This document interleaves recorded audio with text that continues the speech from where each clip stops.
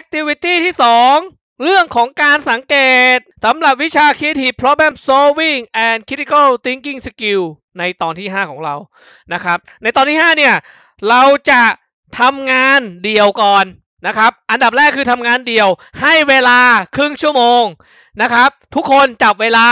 นะครับ หลังจากที่ดูวิดีโอนี้เสร็จแล้ว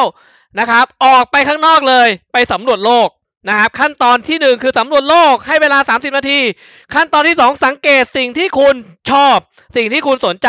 เป็นอะไรก็ได้ เป็นคนเป็นหมาเป็นแมว เป็นรถเป็นเสียงเป็นเพลงนะครับ อะไรก็ได้เลย แล้วก็บันทึก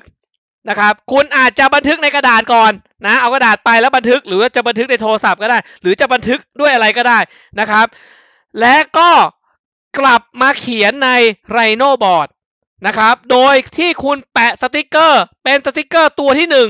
นะ เป็นจุดตั้งต้นนะ เขียนชื่อของคุณไว้ด้วย และคุณก็เขียนบรรยายนะครับ ก็จะเป็น activity ที่2นะครับ ให้เวลา 30 นาที หลังจากที่ทุกคนเขียนเสร็จแล้วนะฮะ ก็ไปที่ activity ที่ 3 เลย เราจะใช้ activity ที่ 2 เป็นจุดตั้งต้น